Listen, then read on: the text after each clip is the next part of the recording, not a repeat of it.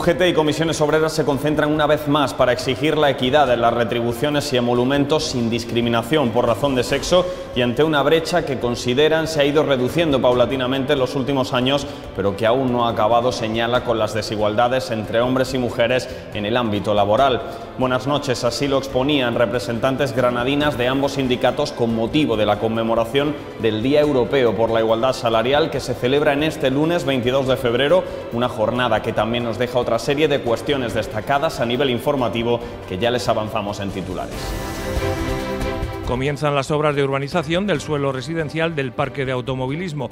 La Junta, a través de la Agencia de Viviendas y Rehabilitación de Andalucía, destinará parte del terreno a construir 69 viviendas. Unos 11.000 profesionales educativos de los distritos sanitarios de Granada y Metropolitano se vacunarán en la Feria de Muestras de Armilla con la primera dosis de vacuna AstraZeneca contra el coronavirus. El Covirán Granada ficha al pívot Edu Gatel, que proviene del Palencia y debutará con el conjunto rojinegro el próximo domingo ante el Palma, igual que Moisés Adriasi.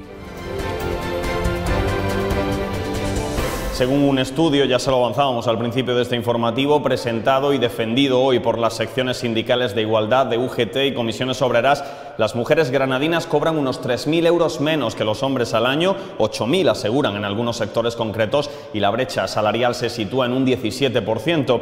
Además, añaden que el 92,4% de las reducciones de jornada que se solicitan parten de las trabajadoras y en un gran porcentaje se deben, apuntan, a motivos relacionados con la conciliación familiar. Hoy lunes 22 de febrero se conmemora el Día Europeo por la Igualdad Salarial entre hombres y mujeres.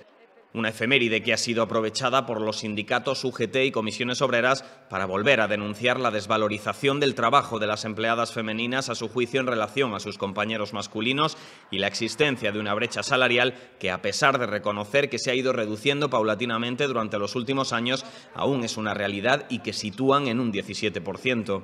Y es que, a pesar de que la ley no permite hacer una distinción en cuanto a retribución o emolumentos por el desempeño de un trabajo que sea exactamente igual por razón de sexo, desde las organizaciones sindicales aseguran que existen grandes diferencias en el salario anual de hombres y mujeres y que, aunque se ha avanzado mucho en otros aspectos, este sigue siendo el gran caballo de batalla en el ámbito laboral. Las trabajadoras granadinas cobran unos 3.000 euros menos anualmente que los trabajadores, aunque dependiendo del sector, esa diferencia puede ser de más de 8.000 euros y ellos realizando trabajos de igual valor. Afortunadamente, esta brecha se, va reduciendo paulatinamente y el gran peso de la reducción de la brecha salarial recae mayormente en las organizaciones sindicales. En la mayoría de los convenios colectivos se ha ido introduciendo medidas que eliminen las discriminaciones en cualquiera de las condiciones laborales, tales como el acceso al empleo, la contratación, la promoción, la conciliación de la vida personal, laboral y familiar y el lenguaje inclusivo. Nos encontramos con uno de los mayores desafíos a nivel sindical, erradicar la brecha salarial entre mujeres y hombres. La legislación es insuficiente, pero nuestro trabajo es constante. Una situación que además se ha visto agravada, añaden, por la pandemia, como señalaban no solo desde UGT y comisiones obreras, sino también desde el CESIF, donde se insiste en que ahora hay mayor temporalidad y mayor precariedad.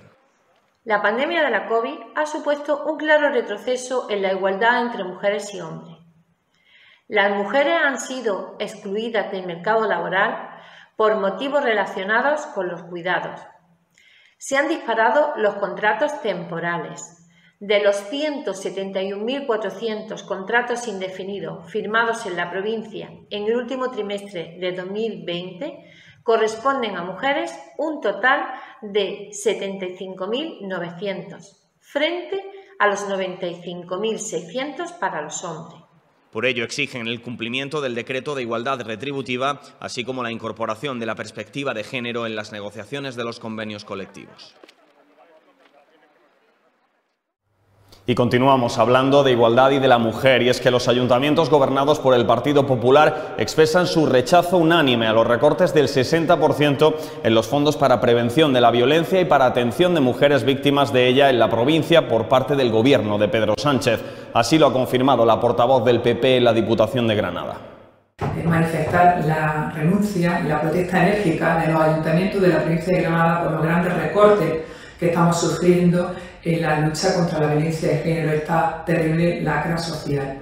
Y es que desde el año 2016 ya hubo una proposición de ley aprobada por los grupos políticos en aras de desarrollar un gran pacto de Estado, un gran pacto de Estado contra la violencia de género, que acogiera tanto las premisas aprobadas en el Convenio de Ginebra como además que abordara las modificaciones legales necesarias para cubrir esta, para, para ir contra esta lacra social.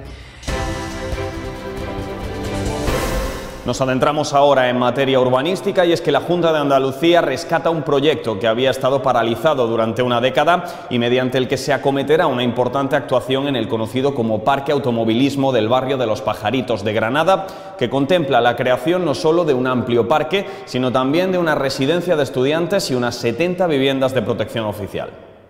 La consejera de Fomento, Infraestructuras y Ordenación del Territorio, Marifran Carazo, ha visitado hoy el inicio de las obras que se van a llevar a cabo en el Parque Automovilismo de Granada a través de un proyecto presentado en la mañana de este lunes que transformará este espacio ubicado en el barrio de Los Pajaritos con una inversión inicial de aproximadamente dos millones y medio de euros que contemplará actuaciones tanto correspondientes al ámbito público como al privado. Y es que era la propia consejera quien hacía hincapié en que la colaboración entre ambos entes es ahora más que nunca esencial para poder desarrollar este tipo de proyectos.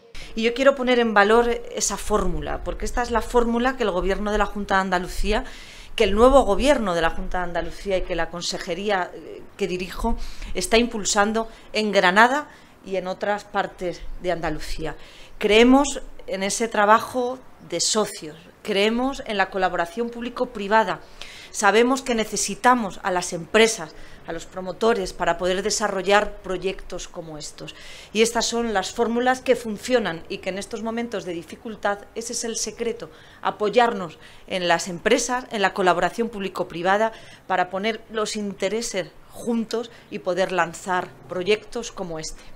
Y es que, mediante la fórmula de la Junta de Compensación, la colaboración podrá permitir que, por un lado, la Agencia de Vivienda y Rehabilitación de Andalucía abra, acometa la construcción de un total de 69 viviendas de protección oficial y, por otro, que la empresa Global LFAS, copropietaria de los terrenos y a través de la organización Temprano, lleve a cabo la edificación de una residencia de estudiantes con una capacidad proyectada de 258 habitaciones. A todo ello se unirá una gran zona verde que servirá también, destacaba el alcalde de Granada, para mejorar las conexiones de un barrio, señalaba el primer edil, históricamente aislado. Pero es uno de los barrios que históricamente ha estado más aislado de toda Granada. Estaba aislado, los puntos de acceso para el barrio eran muy reducidos, las salidas exactamente lo mismo y sobre todo había un grandísimo problema que era la conexión del propio barrio con el camino de ronda, estando tan cerca a la vez estaba tan lejos. O sea, que había que hacer, de verdad, para poder llegar desde el barrio de los pajaritos al camino de Ronda, había que transitar mucho más, tardaban casi lo mismo en llegar al centro de Granada, ¿no? El coste de las obras de urbanización se fija en 2,3 millones de euros, de los que Abra asumirá el 10% y el plazo de ejecución de las mismas se fija en seis meses. El Cuerpo de Bomberos del Ayuntamiento de Granada celebra su bicentenario. Se ha previsto una programación especial compuesta por jornadas y demostraciones en las que el consistorio granadino quiere que se implique también la ciudadanía. El Cuerpo de Zapadores Bomberos de Granada celebra 200 años de vida y lo hace con una completa programación de eventos y actos con los que la ciudad quiere rendirle homenaje por su profesionalidad y su historia como cuerpo precursor y antecedente de otros servicios organizados de extinción de incendios en España. Constituido el 21 de febrero de 1821, es un motivo de orgullo para la ciudad. En definitiva, una serie de eventos en los que pretendemos dos objetivos. En primer lugar, que la ciudad participe, que la ciudad se implique, que la ciudad conozca lo que los profesionales de bomberos representan en la historia de Granada. Y en segundo lugar, que Granada sea el epicentro y valga esta expresión, el epicentro a nivel andaluz, a nivel nacional, a nivel internacional, con la participación de bomberos italianos, de bomberos americanos, de Perú, Francia o Inglaterra. El ámbito de actuación de los bomberos de Granada se extiende a 53 municipios del área metropolitana y la provincia. Cuenta con grupos especializados cuya utilidad se ha demostrado en esta pandemia. Un cuerpo que ha conseguido el reconocimiento nacional e internacional. Las actividades previstas girarán en torno a la historia del cuerpo, su profesionalización, la cultura y el deporte y el reconocimiento y homenaje a su trayectoria como servicio público.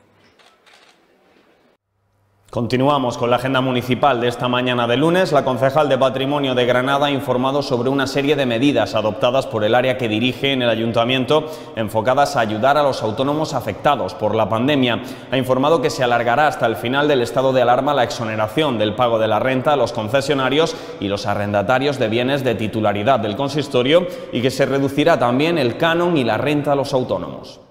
Esta situación, que en principio solamente estaba contemplada durante el primer estado de alarma, no hemos visto en la necesidad o en la obligación, como Administración responsable y comprometida con ayudar a quien peor lo está pasando, de extenderlo hasta la finalización del segundo estado de alarma, que está previsto para el 9 de mayo. Al mismo tiempo, también hemos adoptado otras medidas complementarias, y es el de reducir al 50% el pago del canon y la renta a aquellos concesionarios y arrendatarios que sí pueden a día de hoy desarrollar su actividad, pero que esta actividad está bastante reducida como consecuencia de las restricciones horarias. Izquierda Unida Granada ha registrado mociones en todos los ayuntamientos para impulsar las matriculaciones en los centros de titularidad pública de la provincia. Según esta formación es vital proteger estos centros públicos ya que suponen uno de los pilares clave para mantener la vida en las zonas rurales y revertir los efectos de la huida de población de los municipios que cada vez cuentan con menos servicios educativos, sanitarios y también de comunicación. Eh, vamos a iniciar esta campaña pidiéndole a la propia Junta de Andalucía que invierta en educación pública, que baje la propia ratio, que implante la cocina in situ, que amplíe los horarios de comedor y de aula matinal, con lo cual pues también se facilita no tener que cerrar línea porque se excusa en la falta de, natalidad y evidentemente la natalidad baja un poco, pero esa es la excusa perfecta para que la propia Junta fomente la concertada eh, en perjuicio de la educación pública. Y también en materia de educación, el Grupo Municipal PSOE presenta una iniciativa al Pleno en la que pide al equipo de gobierno de PP y Ciudadanos en el Ayuntamiento la instalación de aparatos para medir la concentración de, aerosoles perdón, en las aulas y evitar la propagación de la COVID, garantizando una mayor seguridad para el alumnado y también para el profesorado. El concejal del Partido Socialista en el Ayuntamiento de Granada ha comparecido esta mañana para presentar una iniciativa que llevarán a pleno enfocada a beneficiar al alumnado y profesorado de los centros educativos. Se trata de instar al Ayuntamiento de Granada que proporcione a los centros medidores de CO2 que ayuden a los equipos directivos a organizar los protocolos de ventilación de sus instalaciones.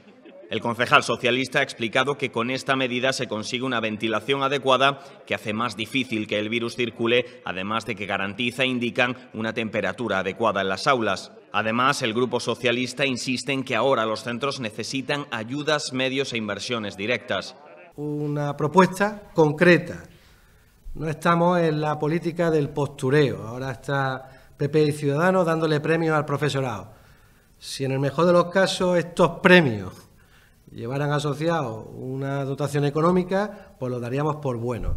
Pero es que estos premios no llevan ningún tipo de dotación económica. Lo que los centros necesitan son recursos, necesitan eh, mascarillas, necesitan eh, que haya una eh, rápida intervención respecto a la sustitución del profesorado que se da de baja. Por último, desde el PSOE explican que llevan a cabo esta propuesta porque el equipo de gobierno está, dicen, ausente, pero esperan que recoja la iniciativa tal y como están haciendo en otros ayuntamientos.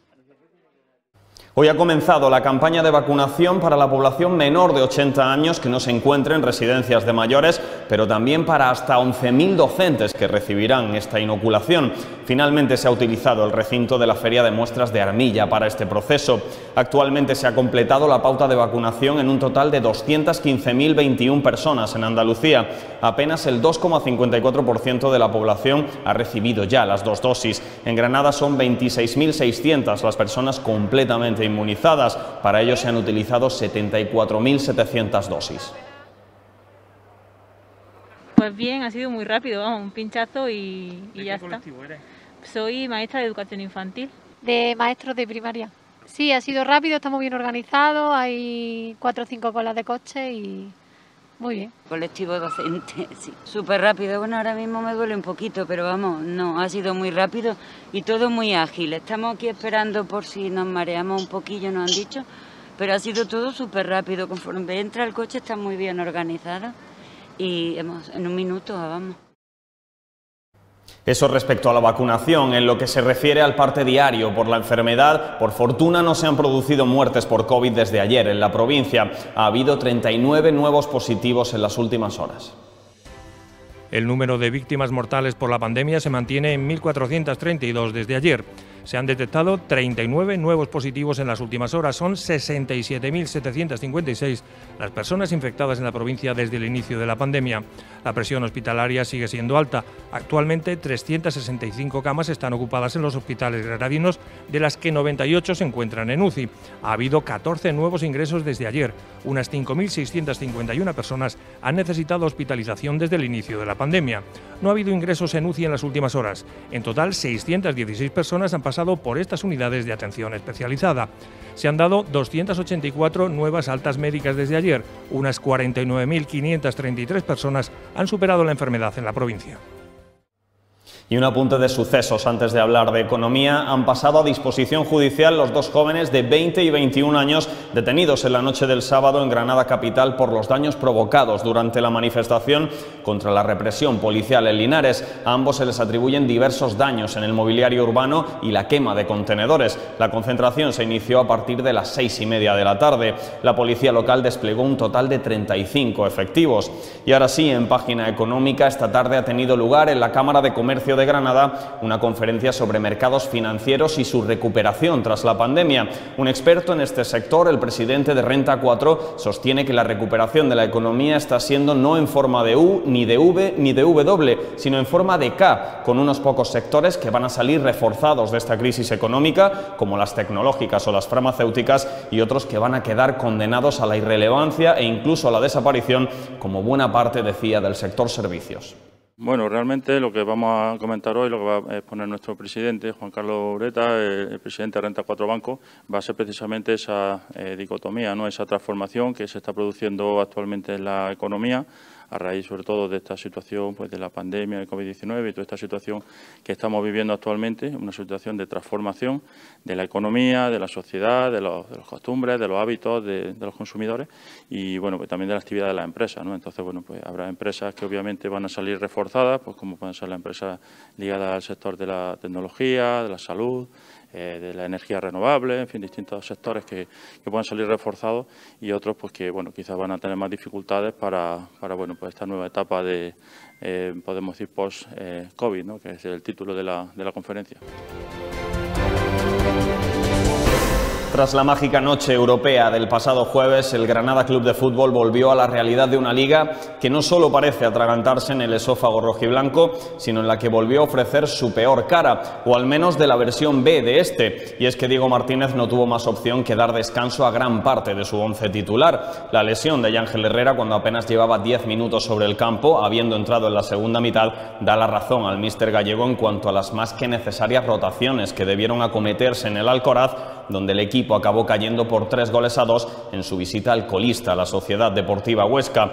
La seriedad y el compromiso con la que empezaron los rojiblancos, que les valió para adelantarse en el marcador por medio de un buen gol al más puro estilo machís de Domingo Esquina, que debutaba como titular, fue solo un espejismo y apenas duró un escaso cuarto de hora. A partir de ahí, una grotesca y grosera desconexión del equipo durante la media hora restante de la primera parte, unida a la mejor versión de la temporada del cuadro alto aragonés, con el sello ya reconocido de Pacheta pudo acabar con goleada escandalosa al descanso de los locales, que convirtieron tres tantos con las firmas de Dani Escriche, Jorge Pulido y Rafa Mir, pero que pudieron haber sido alguno más si este último, por ejemplo, no hubiera estrellado contra la madera la ejecución de un penalti cometido por Ruiz Silva, aún con el 0-1 en el marcador. Las constantes llegadas por banda ante un Arón y un Fulquier totalmente desbordados y el balón parado condenaron a un Granada que estuvo muy lejos de ser ese plantel que siempre comparece y compite. Y aunque en la segunda parte la charla imaginamos que traducida en bronca de Diego Martínez y los cambios, especialmente machís, volvieron a meter al conjunto nazarí en el partido, sobre todo con el gol de Alberto Soro a centro del venezolano antes del 60, los ostenses siguieron teniendo presencia en área rival y forzaron que el Granada no pudiera ir ir con todo al asedio y la búsqueda del empate. Una búsqueda en la que Germán acabó de delantero centro, posición en la que se desenvolvía cuando vio una rigurosísima tarjeta roja en una acción del todo involuntaria y fortuita que debió quedarse en amarilla. Fue solo una de las muchas circunstancias adversas, sumada a los problemas musculares de Yángel, de rodilla de Soro y de falta de ritmo de Quina, a las que se refería después del partido el propio Diego Martínez, que analizaba el choque reconociendo que no le gustó nada lo que vio en los compases finales de la primera mitad. Creo que hemos empezado bien el partido, creo que el inicio, los 15 primeros minutos hemos estado bien. Eh, los últimos 15 de la primera parte hemos estado muy mal, muy mal y sobre todo pues pues hemos concedido cosas que en primera división no puedes conceder y más contra un equipo como el Huesca que está en un buen momento, que, ya hemos dicho que venía haciendo buenos partidos, que, que, es un equipo muy competitivo y luego la segunda parte lo hemos intentado darle la vuelta al partido, hemos conseguido el 2-3, creo que hemos, hemos estado ahí ¿no? con, mucho corazón, con mucha insistencia y, y luego es cierto que Hace el gol Soro, se lesiona la misma jugada del gol, el tema de Yangel, la expulsión de Germán, muchísimas circunstancias en contra, pero bueno, la segunda parte sí que estoy contento en cuanto a que el equipo lo ha intentado y hemos sido nosotros. Preocupa el estado físico de la plantilla y las numerosas bajas y preocupa también el rendimiento en liga donde los rojiblancos acumulan ya seis partidos sin conocer la victoria. Pero de momento el jueves espera Europa donde el equipo continúa con su idilio continental y donde tendrá la tarea de sellar un pase a octavos en el estadio Diego Armando Maradona que ya se preocuparon de dejar bien encarrilado este pasado jueves pero que no está ni mucho menos hecho. Por cierto, un Granada Club de Fútbol que hoy ha celebrado Junta Extraordinaria de Accionistas de la que se desprende una incorporación en el organigrama del club y es que en torno al mediodía se confirmaba el nombramiento de Patricia Rodríguez, quien fuera directora general del Elche o de Leibar, como consejera delegada, sin que por el momento se haya tenido noticia alguna de la revocación de poderes del director general, Antonio Fernández Monterrubio, como se había barruntado y vaticinado en las jornadas previas y que seguirá por ahora desempeñando esta labor. Y del fútbol pasamos al baloncesto con una nueva noticia en forma de incorporación para el Covirán Granada que se refuerza con la llegada del pívot catalán de 206 Edu Gatel. El ex del Destino Palencia, ya desvinculado de dicho club, se encuentra en su novena temporada consecutiva en la Liga Leboro, donde por ejemplo coincidió con Luis Costa en el Huesca y promete traer una mayor competencia así como una gran aportación en la defensa y el rebote, en una posición que se había convertido en una prioridad absoluta para el conjunto rojinegro como así subrayaba el mister Pablo Pin. Sí, bueno, lo primero que, queríamos, lo teníamos claro es que queríamos un 5 y bueno, salió esta opción, un jugador que conoce la liga muy bien, que yo creo que, va a aportar desde, el primer momento, porque además, eh, por ejemplo, Luis ha jugado con él en, en Huesca, un jugador que va a estar aquí bien seguramente, ¿no? y bueno, ya ayer, por ejemplo, eh, estuvo con Eloy, ¿no? Y bueno, él ha, mostrado buena disposición y sobre todo espero que nos dé pues, buenos minutos de, energía, de buenos bloqueos, ayudarnos en el rebote, bueno, ser un poquito más fuertes por dentro cuando, cuando pues, si Bamba o David algún día no están.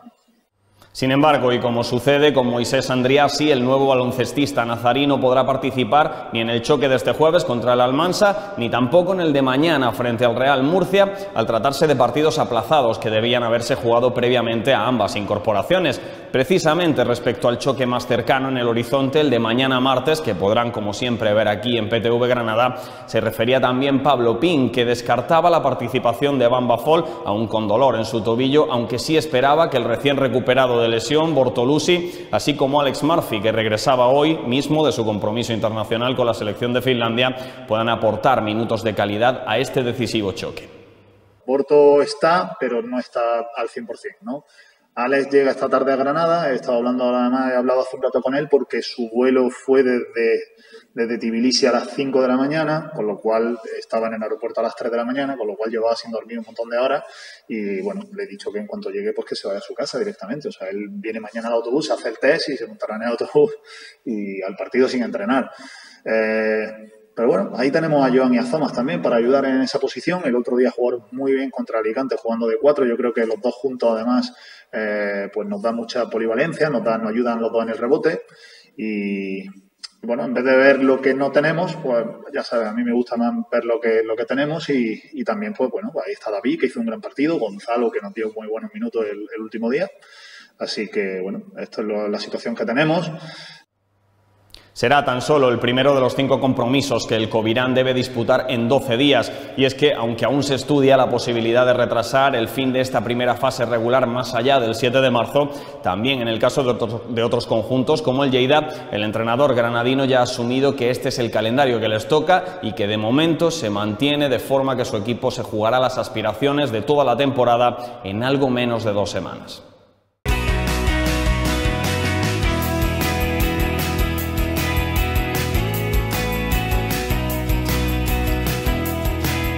El martes los cielos estarán poco nubosos durante las primeras horas del día en la provincia, con intervalos nubosos por la tarde en el litoral.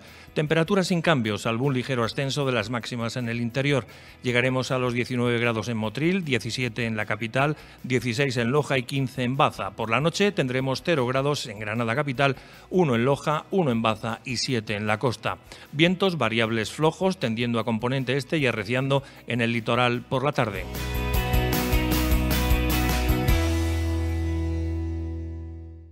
Y nos despedimos ya, no sin antes recordarles que ayer era el primer domingo de Cuaresma y como manda la tradición cofrade, por tanto, tenía lugar el pregón oficial de la Semana Santa de Granada 2021, con un extracto de las casi tres horas de este acto cargado de emotividad y sentimiento cofrade, les dejamos. Muchas gracias por acompañarnos y que pasen una muy buena noche. Hasta mañana. El periodista Fernando Díaz de la Guardia pronunciaba ayer el pregón oficial de la Semana Santa de Granada 2021, al que dedicó 96 minutos y fue interrumpido en decenas de ocasiones por los aplausos. El escenario, el Palacio de Congresos, con estrictas medidas de seguridad ante la pandemia y un público formado por unas 200 personas en representación de las 32 hermandades. Díaz de la Guardia desgranó sus vivencias personales ligadas a la Semana Santa y mencionó una por una a todas las cofradías de la ciudad. El suyo fue un pregón de esperanza en que todo vuelva a la normalidad después del COVID. La Semana Santa más bella, la Semana Santa de mi Granada, Granada, siempre Granada, he dicho. Una de las marchas que eligió el pregonero para ser interpretadas por la banda municipal fue Mi Amargura, del maestro Víctor Ferrer, compuesta a petición de un costalero de la amargura y seguramente una de las marchas granadinas más conocidas.